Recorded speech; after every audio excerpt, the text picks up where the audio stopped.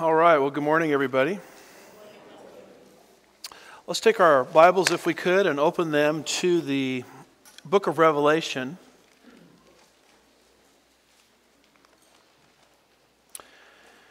Chapter 20 and verse 4. The title of our message this morning is What is Wrong with Us? Question mark. You ever ask yourself that question? What is wrong with the human race? Well, God, in our passage today, is going to show us exactly what's wrong with us.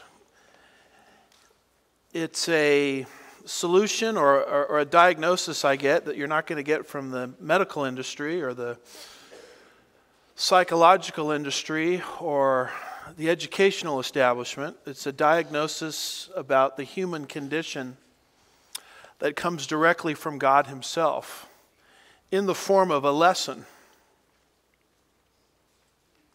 We uh, are continuing our study through the book of Revelation, that larger section of the book, chapters 4 through 22, where John on the island of Patmos was told to write down the things which will take place after these things, the futuristic vision, if you will, of the book.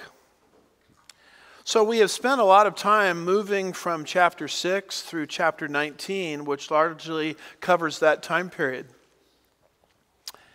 It involves the events of the seven year tribulation period, where various judgments have been poured out upon the earth. And praise the Lord, we've completed that section. And so now we're in a section of the book, really the final three or so chapters of the book, where we get a description of four things that are going to happen after the tribulation is over. Those are number one, the kingdom, number two, the great white throne judgment, number three, the destruction of the present earth. And then, number four, the replacement of the heavens and the earth with a new heaven and new earth. If you look at our graph here, and you'll see the second coming there, or second advent over to the right, you'll see it sort of put together under a chart form. We've got the second coming, the kingdom, the great white throne judgment. At that point, the earth will be dissolved, and then we will move into the eternal state, the new heavens and new earth. So, what we are in today and last week, and I'm hoping to finish this today, but how many times have I said that? It never happened. If we don't finish it this week, we'll continue next week, but we're dealing with the kingdom. The thousand year kingdom of Jesus Christ that will be established on planet Earth when he comes back. Are you looking forward to that? We can divide this section up as follows. Number one, we have the great chain, verses 1 through 3. Number two, the great reign, verses 4 through 6. And then number three, the great revolt, verses 7 through 10. The first part deals with Satan, the second part deals with the saints, that's us, and the third part deals with sinners that are on the earth at the time and where the sinners came from, we'll give you an explanation for that. So we have looked at the great chain. We saw the prisoner, Satan, verses 1 and 2, being put into a prison, verse 3, called the abyss. It's a place of incarceration where he will not be able to deceive the nations for that thousand year time period. And he's put in that abyss for a thousand years. And the last time we were together and talking about this, I tried to make the very radical case that 1,000 means what? 1,000. It's not talking about something that's happening today. It's not talking about something that's happening within the church. It's talking about something that's going to happen following the return of Jesus Christ to the earth. Robert Thomas, in his very good commentary on the book of Revelation, says no number in Revelation is verifiably a symbolic number. In other words, every number you, you just take it for what it says. A thousand means a thousand. Seven churches means seven churches. 24 elders means 24 elders. 12,000 from each tribe means 12,000 from each tribe, etc. So Satan is bound during this time period. And then what begins to be described is the great reign concerning the saints. And that great reign involves two things. Number one, the resurrection of the just. First part of verse 4. And number two, the rule of the just. Second part of verse 4 into verse 6. That is beginning to describe, at least that second one there, our future in Christ. But last time you remember that we took a look at the resurrection of the just. And we read these words, and they came to life. Now, this is a description of the final phase of the resurrection program. Paul, when he talked about the resurrection, analogized it to Israel's harvest cycle. Just as the Jews collected the harvest in three waves, in the same way, the resurrection for the righteous will take place in three waves. Number one, you have Jesus who rose from the dead 2,000 years ago. That's what we call first fruits. Just as first fruits guaranteed in the harvest cycle the general harvest, Christ's resurrection guarantees our resurrection. And I hope that makes you joyful as you move into 2019. Because your destiny in Christ is to receive a resurrected, glorified body without all of the aches and pains that you are currently experiencing in your current body. So his resurrection guarantees the other resurrections. And then there was a second harvest that came in called the general harvest. You can study all of this in the Old Testament. And then the Jews were specifically told not to harvest everything in the general harvest, but to leave some for the poor. And that third harvest for the poor was called the gleanings. So, just as Israel's harvest cycle took place in phases, the resurrection unto life for the believer has three phases to it. Number one, Jesus rose from the dead. That's first fruits. Number two, the general harvest is the rapture of the church. The rapture of the church is for the church age believer. That would be people living on the earth even today if this should happen in our lifetime. Everyone that's trusted in Christ from the day of Pentecost to the rapture, that's part of this new man called the church or the body of Christ. We receive our resurrected bodies at the point of the rapture, which precedes the tribulation period. But then you have a question what about those people that get saved after the church is gone in the tribulation period itself? And for that matter, what about people that were saved before the church age started? Old Testament saints. Daniel, Noah, Abraham, etc. When are they going to be resurrected? Well, that's what we're reading about here in Revelation chapter 20 and verse 4. It says, and they came to life. And now that third phase in this cycle has been accomplished. As tribulation martyrs that are described in the prior verse have come to life and are in resurrected bodies, and Daniel 12 and verse 2 tells us that Old Testament saints will be resurrected at this particular time period. Here's what the whole thing looks like if you're interested.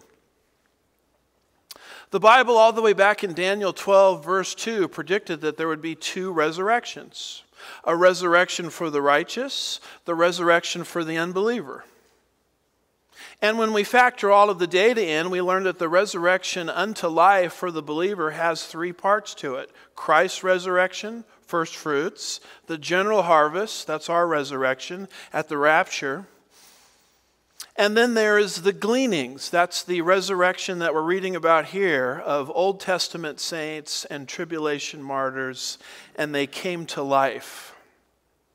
Now, one of the things that sort of occurred to me as I was driving in today and asking the Lord to help me explain some of these complicated issues is I started to think, well, people are going to think that we believe in soul sleep. In other words, the soul just becomes unconscious and waits for its final resurrection. And that also is not what the Bible teaches. Paul said in 2 Corinthians 5 and verse 8, absent from the body is to be what? Present with the Lord. He also said in Philippians 1, verses 21 through 23, For me to live is Christ, to die is what? To die is gain. He said it would actually be better for me to depart and be with Christ, which is far better. So, as people die and await their resurrected body, their soul, if they're a believer, goes into the presence of the Lord. So, their conscience, they're, they're alive. It's very much like the consciousness and aliveness that we have right here and now. Those that are in the presence of the Lord, awaiting for their resurrected body, are very much alive. They just are in a state where their resurrected body has not yet been given to them. And then there'll be a terrible resurrection, which we'll see a little bit later, for unbelievers that is a resurrection for all unbelievers of all ages. And let me tell you this unbelievers right now are in a state of consciousness also. You'll see it very clearly described in Luke 16, verses 19 through 31, where the rich man, you remember, wanted Lazarus to go back and warn his brothers. And he wanted the moisture applied to his, his tongue. That describes consciousness as unbelievers one day will be taken out of that terrible place called Hades, also put in resurrected bodies. And as their names are not found written in the Lamb's book of life, they will be transported at the great white throne judgment from Hades into a terrible place called the lake of fire. This is why trusting Christ now is so important because it determines which resurrection that you will participate in. If you don't have Christ, the only thing you have to look forward to is that terrible resurrection for the unbeliever.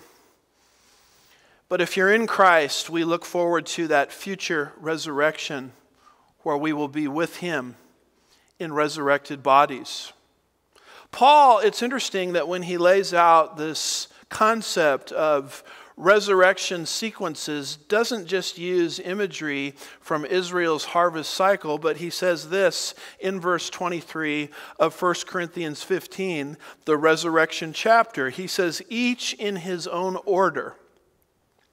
The Greek word for order there is tagma. And many people believe, myself included, that he is analogizing the resurrection program to a Roman parade. It's interesting that when he uses first fruits, he's using a Jewish analogy, but when he uses tagma, he's using a Gentile analogy. Here's an analogy the Gentiles can understand, just as I just previously used an analogy that the Jews could understand. And tagma refers to a Roman parade. When the Romans conquered a city or a people group or won a victory or a battle, they had a parade. The parade had four stages to it. Everybody that was reading Paul and reading his words would understand these stages because it was part of their culture. There was the conquering general out front in the parade as the victor, followed by the lead officer followed by the soldiers that were victorious in battle.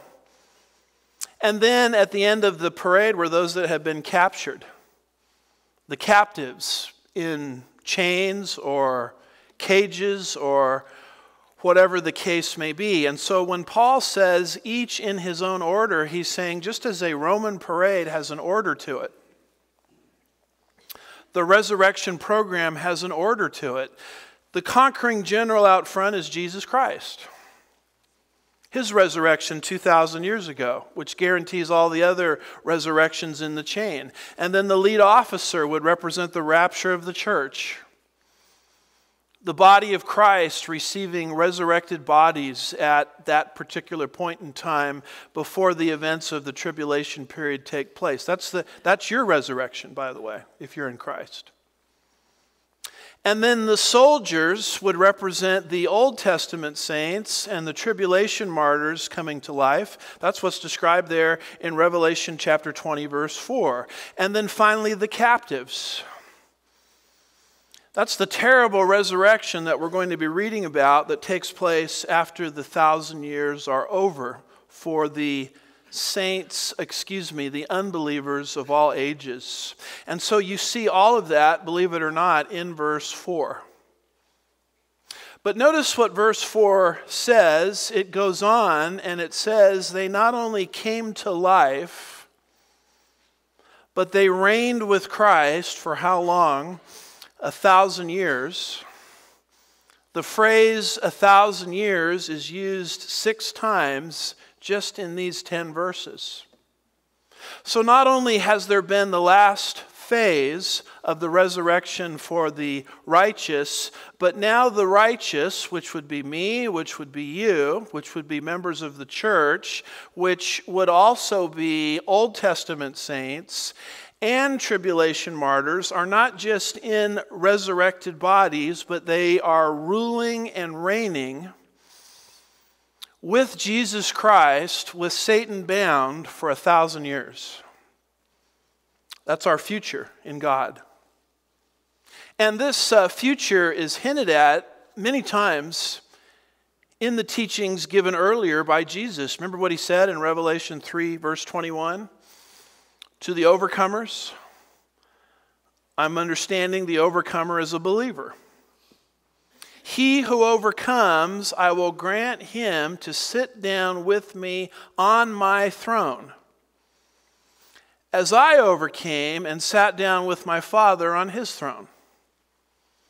So, Jesus, when he ascended to the Father's right hand following the ascension, is on his Father's throne. But one of these days, he's going to be on his own throne as he's going to be transported from heaven to the earth in his second coming. And he will rule the nations of the earth from Jerusalem on his own throne for a thousand years. And what he says here is if you are an overcomer, in other words, a believer, and you say, well, how did you get overcomer to become believer? We went through all of that, but just jot down 1 John 5, verses 4 and 5, and you'll see it as clearly as it can be spelled out. An overcomer is a believer. Just as I am now seated on my Father's throne, the day in history will come where I will sit on my throne. And those overcomers or believers will also be sitting down with me on my throne when I rule the world for a thousand years. So if you are in Christ, there is a throne in your future. He called us in Revelation 1, verse 6, a kingdom of priests. More on that later. But he was very clear in Revelation 5 and verse 10 that what, what privilege is it to be a kingdom of priests? He says in Revelation 5, verse 10, You have made them, that's us, to be a kingdom of priests to our God, and they will reign where? Upon the earth. So, part of your status as a priest in Jesus Christ is the future authority that you will wield in this thousand year kingdom under his delegated authority. And so, everything that's happening in your life right now is preparing you for that position. You know, you go through the, the Joseph story and you look at all of the things that Joseph went through from age 17 to age 30. Until finally, at age 30, he was elevated to second in command in Egypt. And you read about these things that happened to this young teenager, and you know the story his betrayal and abuse and mistreatment and I can tell you this that everything that God allowed to happen to Joseph was preparing him for age 30 when he would be elevated to his position. So, everything that's happening in our lives right now, good or bad, and by the way, we shouldn't misquote the Bible. Many people misquote the Bible and they think it says, all things are good. That is not what the Bible says. What the Bible says is God uses all things together for good to those that are called according to his purposes. Many of you are ha- having things happening in your lives that are not good. Yet God is using them for good to prepare you for your future. And your future is to reign under the delegated authority in Jesus Christ for a thousand years. As one person put it, training time for reigning time. That's what's happening today. And so, how important it is to never lose sight of the future that God has for us. The Corinthians had lost sight of their future. They were suing each other in front of unbelieving judges and discrediting the gospel in the process. And Paul writes to them and says in 1 Corinthians 6 2 and 3, he says, Or do you not know that the saints will judge the world? If the world is judged by you, are you not competent to constitute the smallest law courts? Do you not know that we will judge the angels? How much more the matters of this life? He says to the Corinthians, Look, you're, you're fighting, you're backbiting, you're squabbling, and you're really not acting like the royal priesthood that you are. And you're really not acting like people that have this tremendous future. He says here, or do you not know? It's, a, it's an ignorance issue. They, they weren't aware, for some reason, of their future. And isn't it interesting that the more, you, more time you spend thinking about your future in God, the more it shapes your behavior in, your, in the present? And if, I, if I'm going to rule alongside Jesus one day as a wise person, maybe I ought to start acting like a wise person now. And maybe, you know, well, so and so did this to me, and so and so did that to me. Well, given your future, maybe you ought to just let it go and not be bitter or antagonistic or whatever the issue is going on, whatever issue is happening in your life, tempting you to go back to the sin nature, why don't you make that a New Year's resolution for 2020? I'm just going to let it go. I'm not going to be so retaliatory. I'm not going to be so mean spirited about things. Because what do I have to be mean spirited about? Given this glorious future that I have in Jesus Christ. And so the world one day is not going to be like it is today. Today, the Christian is not ruling and reigning. We are under the thumb of the adversary. Jesus told us in John 15, verses 18 and 19, concerning this world system. He says, If the world hates you, know that it hated me before it hated you. If you were of the world, the world would love you as its own, but because you are not of the world, but I chose you out of the world, because of this the world hates you. Well, gee, Pastor, I'm just not getting along well with my family. I had all these family members over for the holidays, and I just couldn't get along with them. And, and my question is, well, are you surprised by that?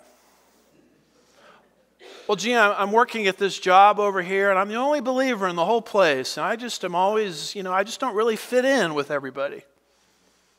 Does that surprise you? Jesus told us this would happen. And it wouldn't be reversed until he established his kingdom on the earth. In fact, in the present age, the Bible makes you a promise. You ready for this? And this is not one of those promises that you find at the Christian bookstores. You buy these little books today and they give you all the happy promises, which are fine to read, but here's a promise from God to you, to me, in this present age. You ready for this? It's a promise, it's ironclad. 2 Timothy 3, verse 12. Indeed, all who desire to live a godly life in Christ Jesus will be persecuted. There's their promise.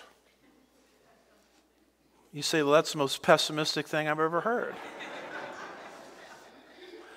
but the reality of the situation is that promise is temporary. It's about to be reversed once the kingdom is established. And so, not only is the resurrection of the righteous happened, but now the reign of the righteous for a thousand years is taking place. And let me tell you something what a reign it's going to be. Revelation 20, verses 1 through 10, just tells you the length of it and adds a few details. But if you really want to understand this reign, and kingdom that's coming, you have to give yourself to the Old Testament, in particular, the Old Testament prophets, because they fill in great details that you don't find here in Revelation 20. There's coming a government on the earth that's going to be established by God, where God's not going to sit around and be worried about the Electoral College, the latest opinion polls oh no, they might vote me out of office. No, it's a kingdom established by God, Daniel 2, verse 44, and it's going to last forever because the thousand years is going to give way to the eternal state, which will never end. Daniel 7, verse 27, it's a time period where Jesus will rule directly. Zechariah 9, 9 and 10. The direct rule of Christ present. Christ physically, visibly seated in Jerusalem, running planet Earth with a rod of iron. People today are conspiring and scheming about a new world order that they want to build. Don't sign me up for that new world order. I have no interest in participating in that new world order. The only new world order I have any interest in participating is the one that Jesus ministers directly. He's going to minister it from the earth. Zechariah 14, verse 9. All of Israel's promises regarding land and prominence are going to be fulfilled.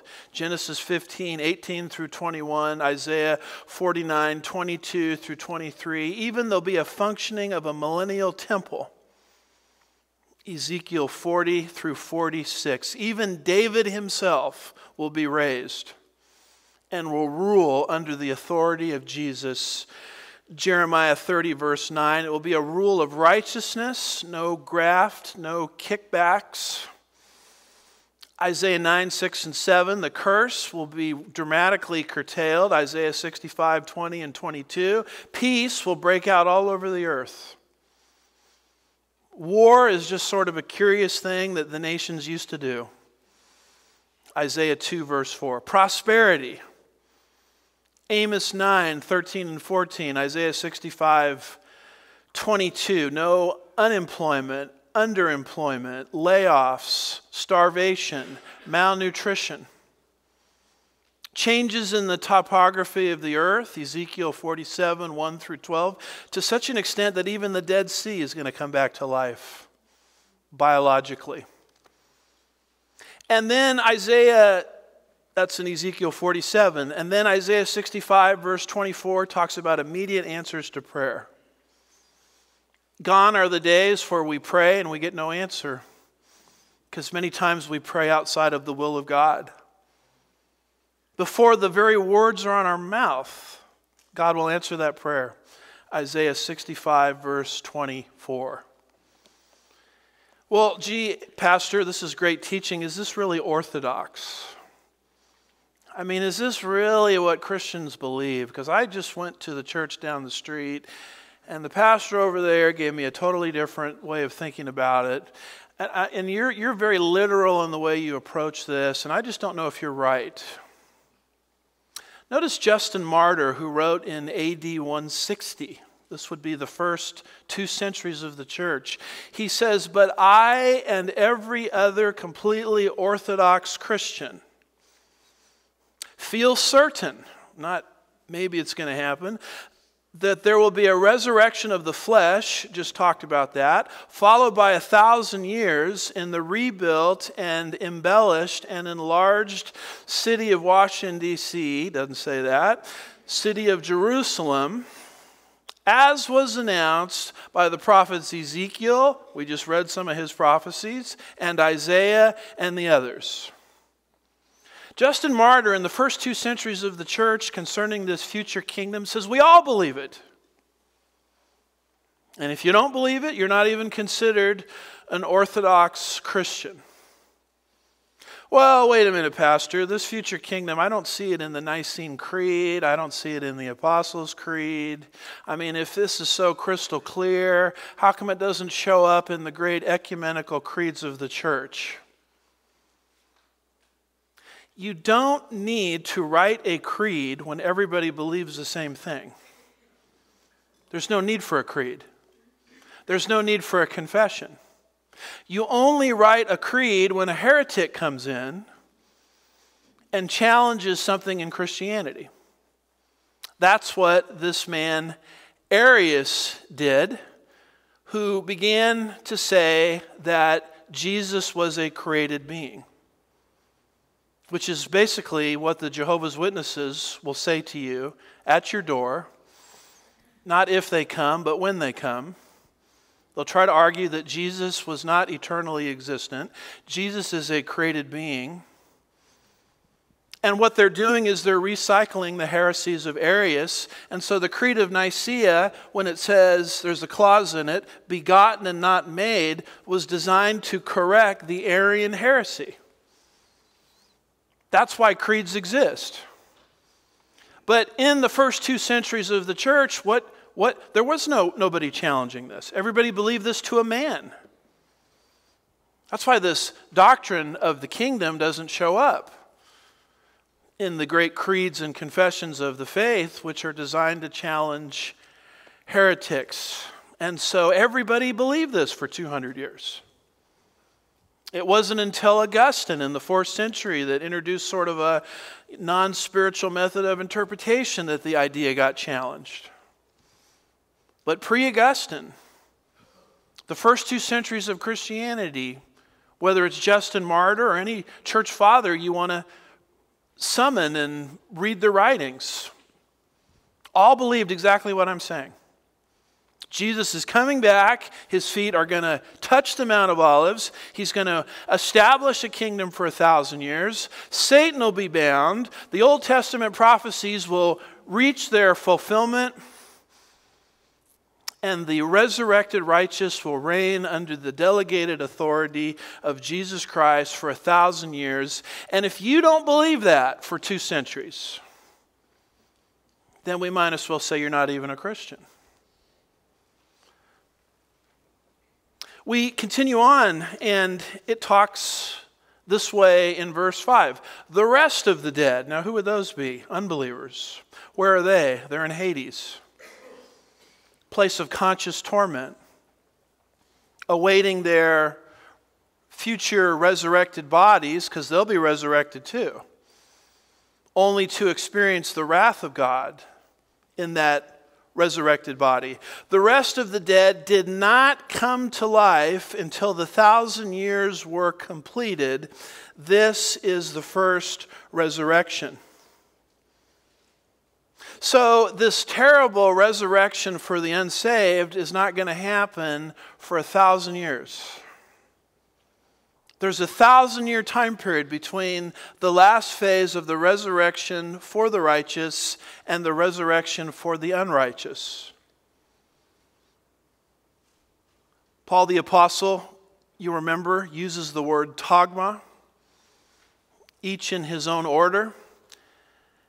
And part of the order was the captives. Who are the captives? The unsaved of all ages. When are they going to be resurrected? At the end of this thousand year time period. So, isn't it interesting that when Daniel describes these, these resurrections, he doesn't give you an indication that there's a thousand years between them?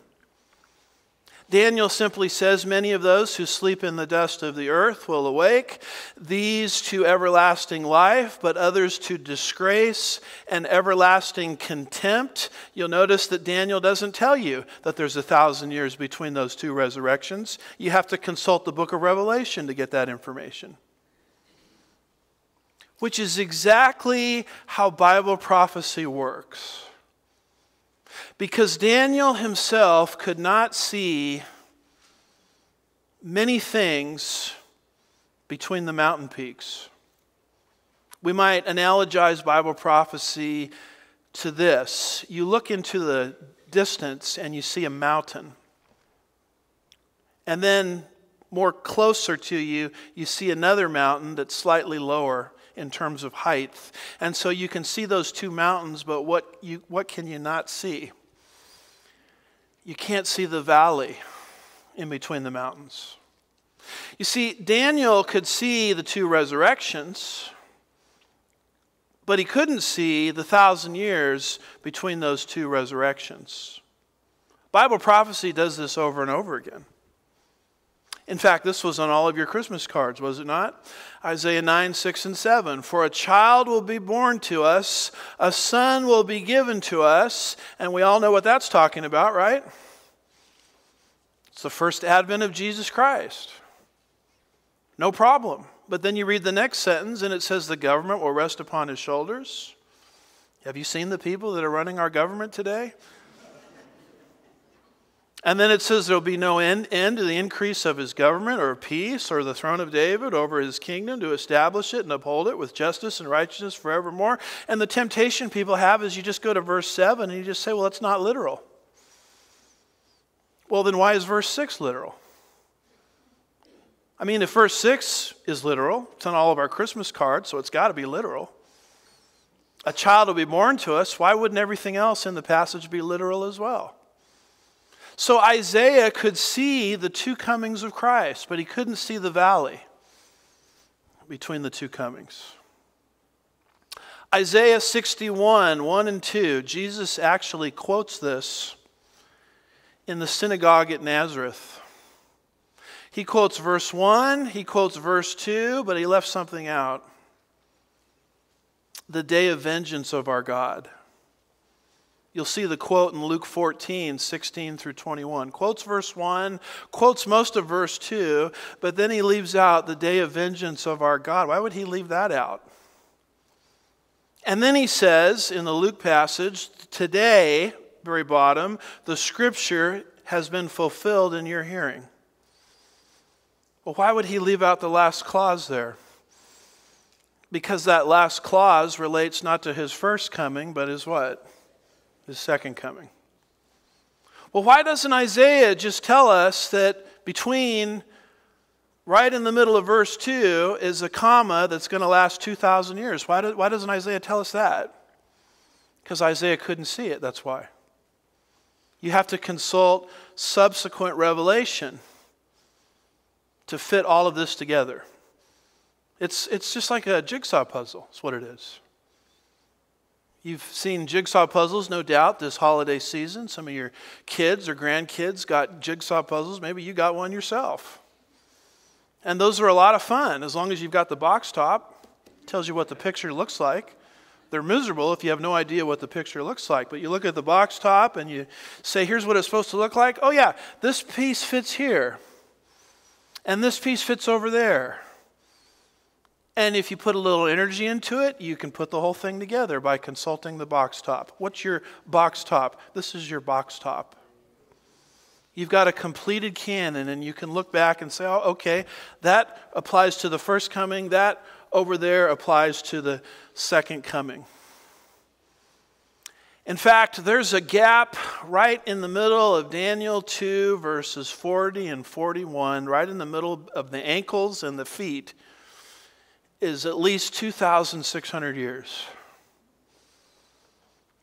There's a gap right in the middle of Daniel chapter 7, verse 7. There's a gap right between Daniel 9, verse 26, and Daniel 9, 27. There's even a gap right in the middle of Daniel 11, verse 35, and Daniel 11, verse 36.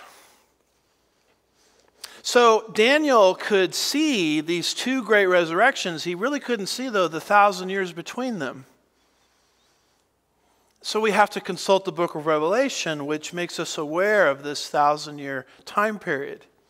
The resurrection of the righteous, the final phase of it, has been accomplished and fulfilled. The righteous are ruling and reigning alongside Jesus Christ in their glorified bodies. All of the prophecies that God said would happen in the kingdom are happening for a thousand years. Satan is not even around to bother anybody.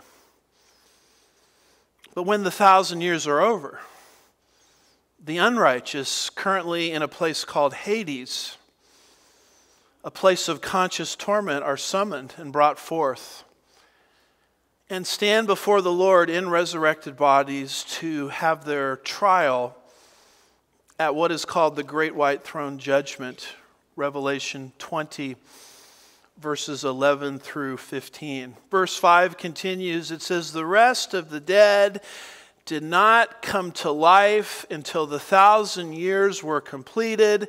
This is the first resurrection.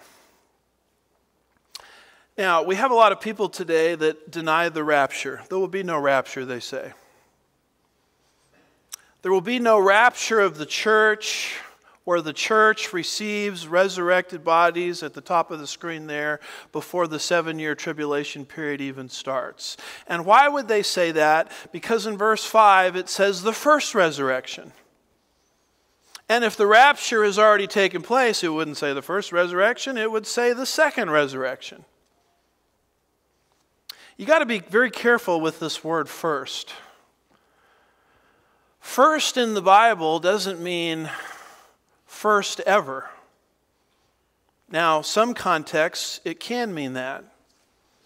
But that's what it that's not what it means here. Because if this, the final phase of the resurrection unto life for the righteous, tribulation saints, Old Testament saints, is the very first resurrection ever, then who else never rose? The church never rose, and Jesus never rose. Now we got a problem. Because if Jesus never rose, you don't have Christianity. Christianity rides or falls according to the historical accounting of the resurrection of Jesus Christ. So, first here can't mean first ever, because if it means first ever, then you don't even have a resurrected Jesus. So, first here, what does it mean? It means first in relationship to the terrible resurrection coming later after the thousand years are over. It's first in a sequence of two, not first ever. It's like when my wife, she says, she, she texts me or calls me on the phone. She says, I want you to run some errands for me. First, I want you to go to the la- pick up the laundry. Last, I want you to go to the store and pick up whatever, groceries. Now, when she calls me and gives me those instructions, I don't say to myself, Well, praise the Lord. Once I go to the grocery store, I'll never have to do it again because she's using last, not last ever, but last in relation to first. See that? When she says, I want you to pick up the laundry, I don't say, Well, this is interesting. This is the first time in our whole marriage I've ever picked up the laundry. Now, if you talk to her, she might think that's true, but we won't go into that. it's first and last in a sequence. You see that? Not first ever. So he says the rest of the dead did not come to life until the thousand years were completed. This is the first resurrection, the, the resurrection, the last phase of it. The soldiers, not the soldiers, the, let me go back to my chart here. Unfortunately, it's way back. There we go. The soldiers, there we go. And the gleanings has happened. You already been resurrected. You're returning with Jesus to rule and reign. The resurrection unto righteous has happened. It's been fulfilled. The only thing left is the terrible resurrection of the unrighteous, which is going to take place 1,000 years later. And we continue on and we come to verse 6, and notice what it says Blessed. Now, that's the Greek word makarios. It's the same word used over and over again in the Sermon on the Mount, where Jesus will say, Blessed are the peacemakers, etc. Same word. Blessed and holy is the one who has a part in the first resurrection. Look at that word holy. Did you know that's what you are in Christ? You're holy. You say, well, you didn't see the family food fight we got into and the cantankerous nation, uh, cantankerous holiday spirit at our house this Christmas, and you're looking at your holiness through the wrong grid. You don't look at it through your own self. If you spend your life looking at yourself all the time, you're going to be very depressed. You know, I watch all these, uh, you know, self empowerment type people and psychologists on TV, and they're always talking about yourself. You've got to get in touch with yourself. You've got to be your better self. And they've got a self magazine, and I'm, I'm sitting there thinking that's the most depressing subject I could contemplate. I don't want to think about myself. What I want to think about is what Jesus transferred to me at the point of faith. His righteousness was transferred to me at the point of faith. God the Father looks at me as if I'm just as righteous as his son. You say, well, Pastor, I don't always act like it. Well, what does that have to do with anything? It's a positional legal reality. You say, well, shouldn't this affect our daily life? Yes, it should. We ought to let our practice catch up with what? Our position. I mean, if we're holy, and that's what it says right there, maybe I should act like it. But whether I act like it or don't act like it doesn't change the positional truth. It's a doctrine called imputation, which means transfer. And it says this Blessed, Makarios, and holy is the one who has a part in the first resurrection. Now, I pointed out Makarios, blessed, because in the book of Revelation there are seven Beatitudes. You say, well, wait a minute, I thought those were in the book of Matthew. They are, but here's another set of seven. I mean, is there anybody in here that does not want to be blessed? Put your hand up. We all want to be blessed. And the book of Revelation gives us seven blessings. Number one, and it's all the word Makarios. Number one, Revelation 1, verse 3. A blessing is promised upon the reader and the heeder of the book of Revelation. If you'll read it and take it to heart, God says you're blessed. I mean, you're blessed simply by showing up this morning and listening to this because it demonstrates that you take the book of Revelation seriously. Number two, for those in the tribulation period, there's a blessing upon the martyrs. Because if you die, you're not under the oppression of the Antichrist anymore. You're in the presence of who? God. Revelation 14, verse 13. Number three, there's a blessing upon those in the events of the book of Revelation that are spiritually prepared for the coming of Christ. Revelation 16, verse 15. What gets you ready for the second coming of Christ? It is the holiness that is transferred to you at the point of faith. If you don't have that holiness, through imputation or transfer, you don't have much to look forward to. But if you've got that and you receive it by faith alone, then you're blessed. Number four, there is a blessing, Makarios, pronounced upon those who are going to participate in the marriage supper of the Lamb. We read about that in Revelation 19, verse 9. Makarios is used to describe those invited to that. And by the way, if you're in Christ, there's an evite in your inbox inviting you to that supper. Number five, I'll skip and go back to. Number six, there's a blessing once again upon this time not just the reader of the book of Revelation, but someone who takes it seriously, a heeder, Revelation 22, verse 7. And number seven, there is a blessing promised upon those that are going to enter the eternal city. Revelation 22, verse 14. And by the way, unlike the United States of America, this city is going to have borders where not everybody's getting in.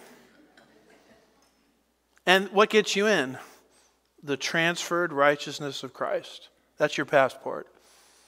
You don't have the transferred righteousness of Christ, you can't enter. And by the way, that city is going to be awesome. Paul tells us in Philippians 3, verse 20, that our citizenship is where? In heaven. Why would he say that? It's the city that was in existence. I think it was in existence, I'll try to make this case, when Paul was on the earth. It's just not fit to come down yet because we live on a corrupted earth. And a city like that wouldn't fit well on a corrupted earth. You're dealing with two things that don't go together. But one of these days, this earth is going to be dissolved. Revelation chapter 21, verse 1, by fire. 2 Peter 3, verse 10. By the way, that's where you put your global warming. 2 Peter 3, verse 10. Everybody's worried about global warming. People say, people call the church, Do you believe in global warming? Yes, we do. It's in 2 Peter 3, verse 10, where God takes this terrestrial ball and dissolves it by fire and replaces it with a new heavens and new earth, never marred or touched by sin. And now that city, which has been up there since the days of the Apostle Paul, at least, can come down to that earth. And that's your eternal home. So there's a blessing pronounced upon people that will enter that city. Now, what else is there a blessing upon? We skip number five. You'll notice in verse six, a blessing is pronounced upon the participants in the first resurrection. What does it say there in verse 6?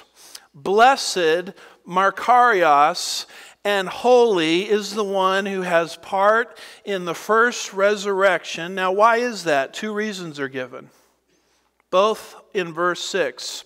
Number one, over these the second death has no power. You see, if you're part of the resurrection program of God, and you are part of the resurrection unto righteousness, yours is at the rapture.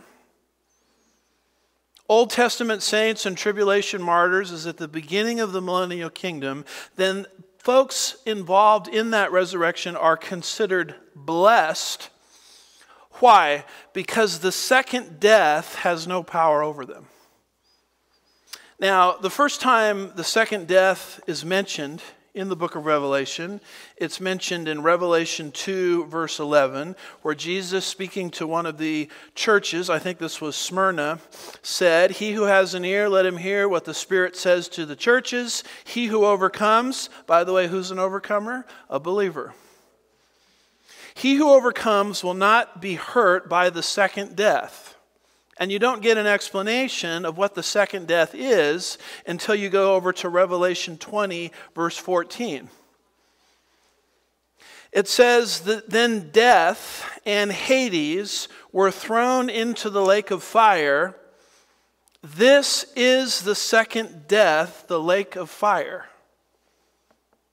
The second death is the resurrection of the unrighteous at the end of the thousand years.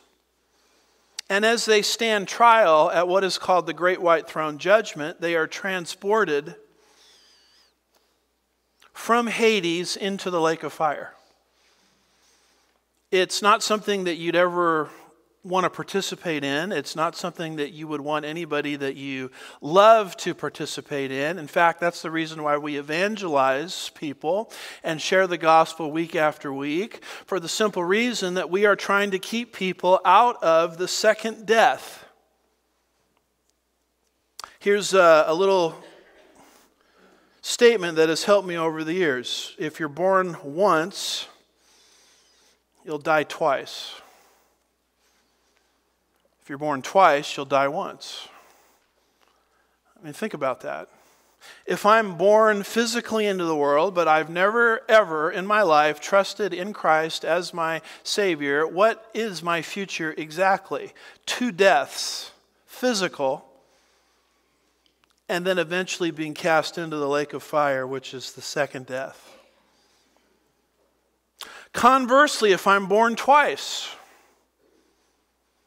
what does that mean? Born physically into the world, but I've received Christ as my Savior, and I'm born spiritually. We talked about that in our Christmas Eve message regeneration, the new birth.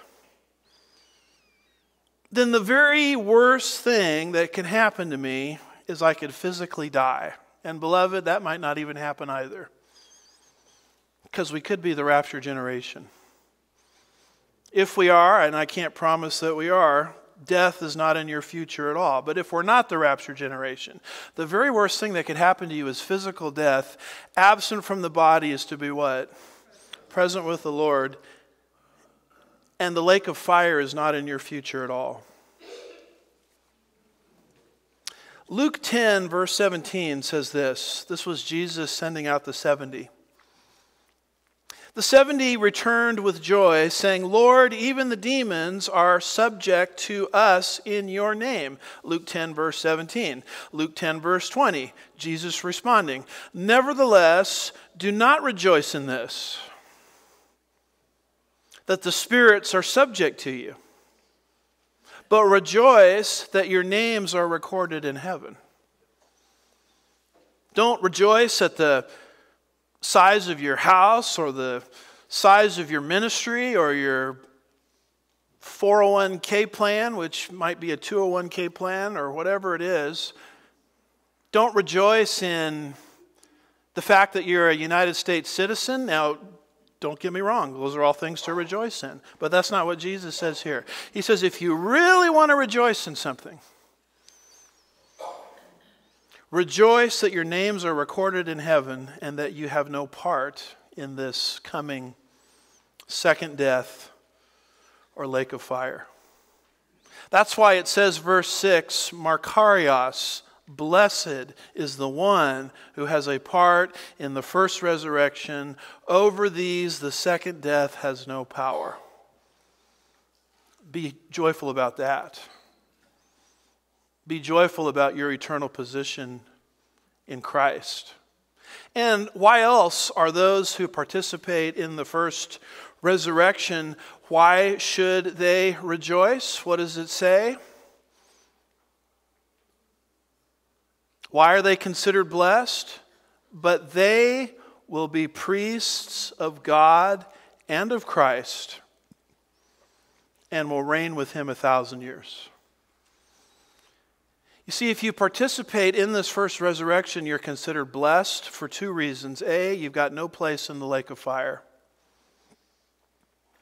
And number two, your status as a priest is about to be actualized, it's about to be fulfilled.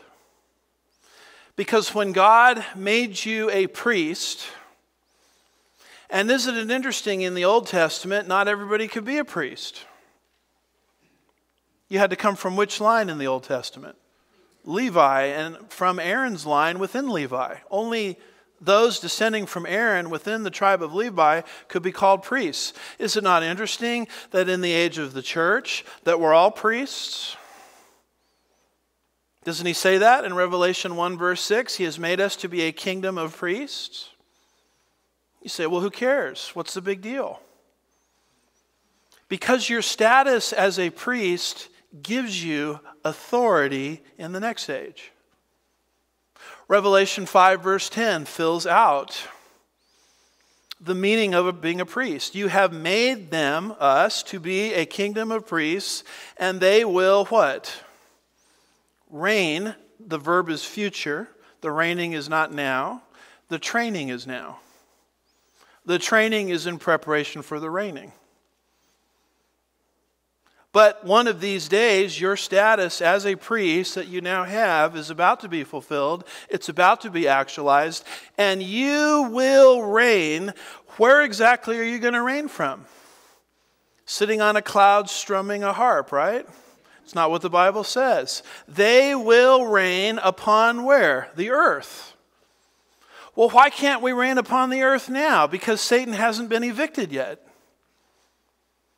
That's what the various judgments in the book of Revelation are accomplishing. Satan's grip is being loosened over the planet. He's not evicted until Jesus comes back and puts him in a place called the abyss.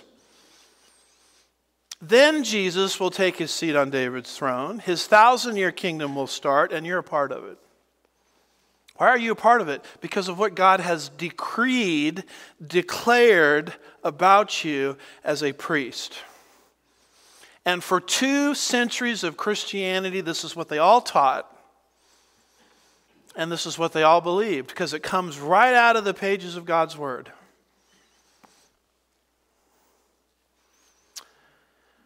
And then something happens at the end of this thousand years called the revolt. Verses 7 through 10.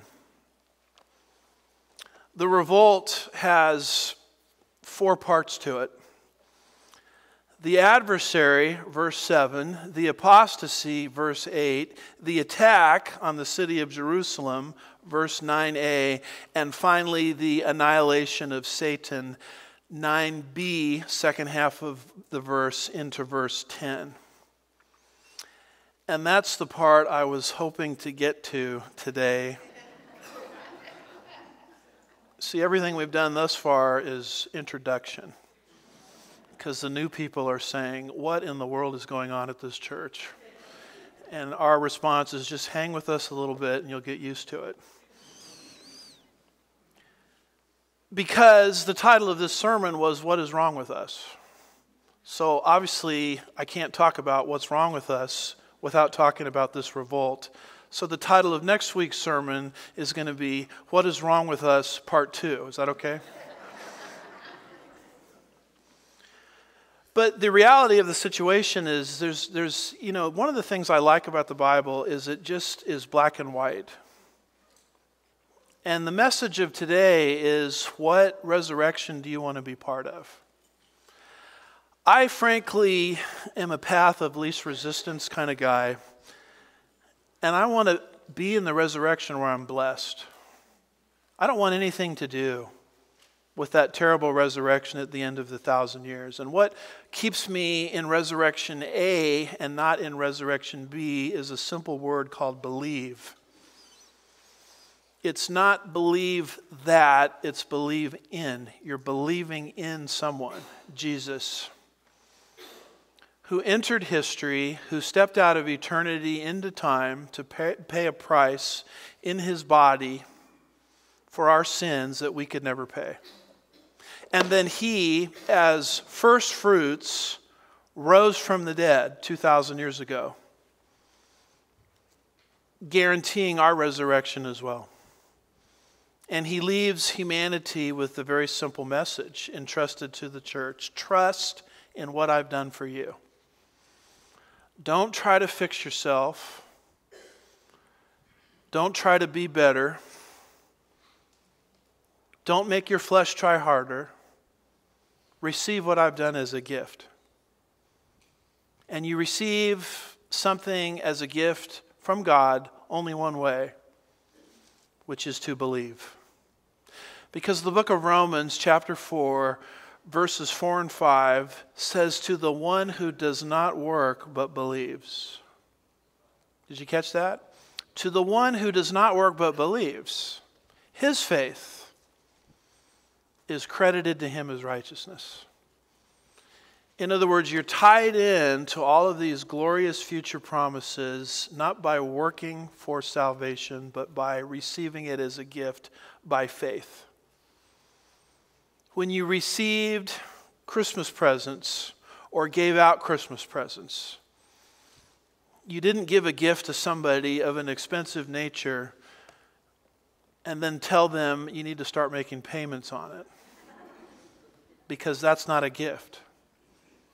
The moment you think you have to start making payments on what Jesus has done for you through good works, it loses its status as a gift. We can't receive what we've been talking about here through self effort. It's got to be received as a gift. And if a person won't receive it as a gift, they don't receive they don't participate. So our exhortation as the Holy Spirit convicts people of their need to do this is to trust in what Jesus has done. It's not a matter of joining a church, walking an aisle, filling out a card, giving money. It's not a matter of New Year's resolutions. It's about trusting, which means relying upon what Jesus has done for you. And that's something that you can do now, even as I'm speaking in the quietness of your own heart, as the Spirit places you under conviction through a moment of privacy between you and the Lord. It can happen right now. Your whole destiny can change.